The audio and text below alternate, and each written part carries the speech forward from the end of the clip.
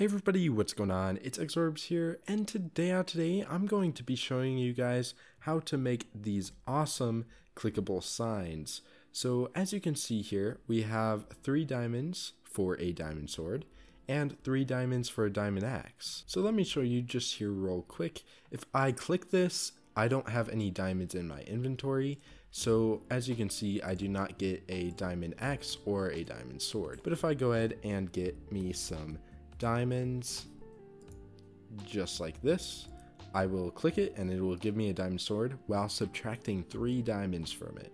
Before we get started, if you guys do enjoy videos like these, make sure to leave a like and subscribe. In the future, I will be doing a 5,000 subscriber special because I cannot even believe that we have made it to 5,000 subscribers. Thanks so much and let's go and get started. So the materials you will need for this is a block of your choice, at least one redstone comparator, one redstone torch, one oak sign. It depends on how many um, how many shops you're doing, but one oak sign at the minimum, and one armor stand at minimum. Let's say you have three ones you're selling you will need three redstone comparators, three redstone torch, and three signs and three armor stands. So to start, also, you're going to give yourself a command block. So in chat, you're going to say slash give at p command underscore block. That should give you a command block right there. The next thing we're going to do is in chat, you're going to say slash game rule command block output false. This will stop the annoying text from scrolling on the side of your screen. So now I'm going to find a little place uh, where I can build this. So right here looks pretty good. I'm going to build a 5 by 3 area, just like this. Yours may need to be a bit wider depending on how many things you're going to have. So like over here, I have two options. So yours may need to be bigger, but it should be looking something like this.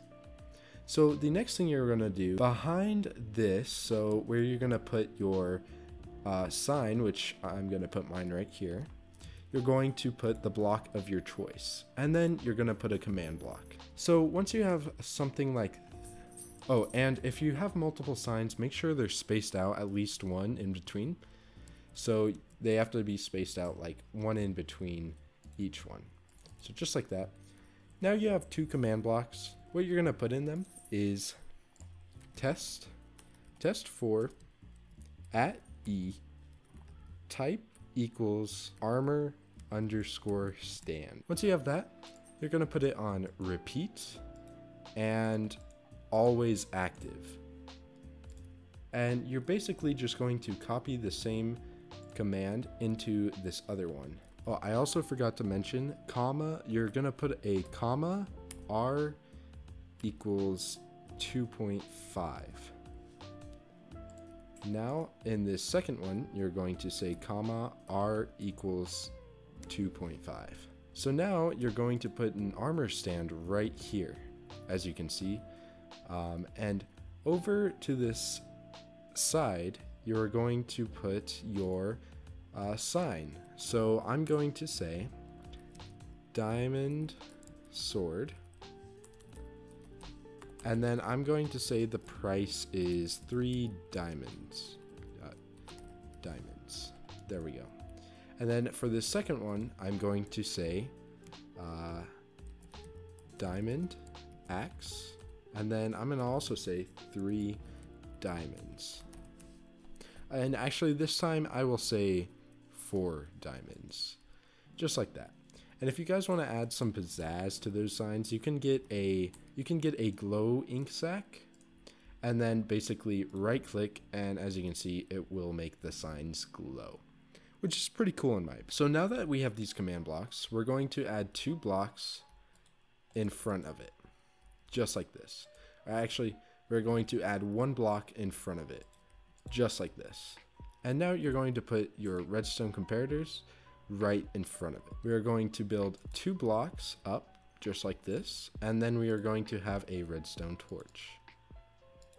Now, right above that redstone torch, we are going to have another command block above them.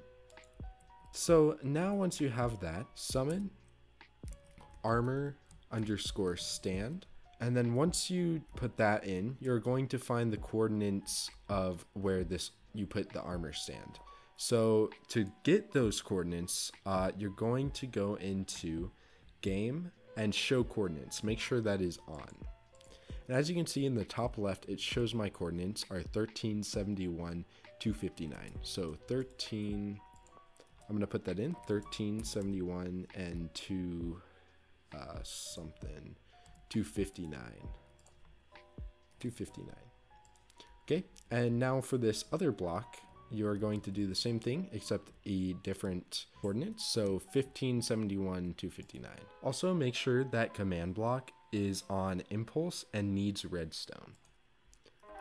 Now for the next command block, you're going to place a block right there, or actually two blocks for that matter, just like that. And then you're going to have two um, command blocks just right here, but make sure they're pointing face outwards.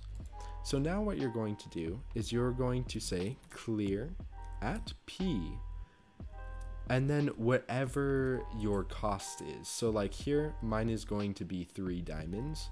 So we're going to say clear at P diamond and then we're going to put zero and then the amount that you want. So I have three diamonds they need. So I'm going to put three and you're going to have this on impulse and needs redstone again. So now time for the actual part where it gives. So what you're going to do is you're going to face it out just in front. Make sure this arrow is pointing outwards again too. And then inside this, you're going to have a chain, conditional, and always active. And inside this command block, you're going to put give at P and then whatever you want to give them. So in this case, I want to give them a diamond underscore axe. Okay, so simple enough. And then for this next one, I'm going to give them, so give at P and then um, diamond underscore sword. And just like that, oh, and I also forgot uh, to put this on chain, conditional, and always active. Don't forget that. For the last command block, we are going to put it in between any one of these two. And now I'm going to put these on repeat and always active. And then I'm going to say effect at e type equals armor underscore stand. And then I'm going to say invisibility invisibility 99999 and then 5 and then true. Okay? And what this does is it makes the armor stands invisible. So as you can see, I have zero diamonds. I'm trying to break this and it won't give me any of the diamond sword. But now if I go ahead and get diamonds, as you can see, I get a diamond sword and it subtracts it. So diamond axe, get diamond axe and it subtracts my diamonds. So that's it for today. I really hope you guys enjoyed, and I will see you guys all in the next one.